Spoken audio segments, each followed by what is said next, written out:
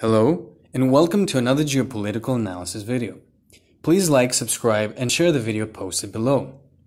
As I mentioned in my previous video, Turkey issued NAVTEX in Hellenic waters with the intention of seismic surveys to drill, followed by Navy combat ships. It is clear that international law condemns this as an illegal act to exploit for economic reasons or to extract energy resources in another nation's continental shelf.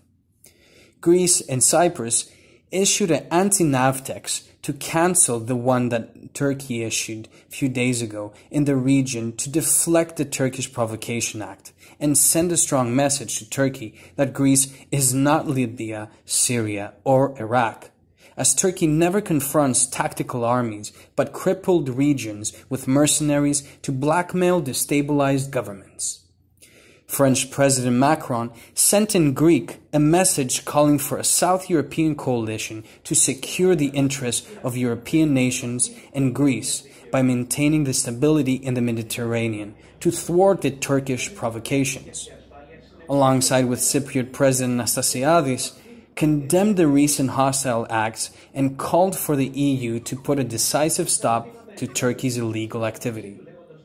Also, U.S. Ambassador Pyatt arrived in Alexandroupoli and stated how the exclusive economic zone and continental shelf of the Aegean Isles, such as Kastelorizo and Megisti, and other Aegean Isles must be respected as international law of sea states.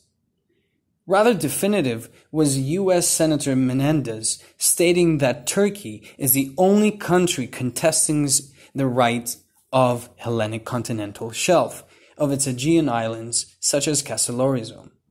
Interestingly enough, German newspaper Bild announced how Chancellor Merkel had something to do with the de-escalation of the tension between Turkey and Greece. This simply is not true, as Turkey, on top of the NAVTEX that was issued illegally to conduct seismic surveys, has announced missile testing, clearly testing the patience of the Hellenic tolerance. Merkel's recent few months' presence has been hinting for possible return and has issued this as a PR if you want, or propaganda to exalt her as a peacekeeper influence in the Aegean dispute.